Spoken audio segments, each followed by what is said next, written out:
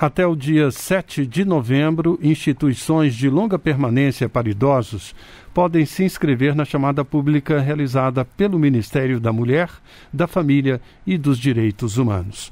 As instituições selecionadas vão receber cada uma 150 mil reais para compra de equipamentos, entre eles itens de cozinha, almoxarifado, lavanderia, camas e colchões hospitalares, cadeiras de roda e de banho, andadores e muletas.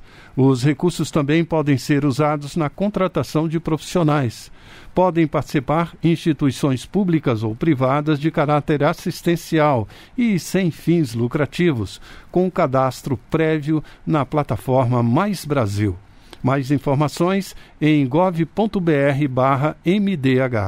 Da Rede Nacional de Rádio em Brasília, Adalto Gouveia.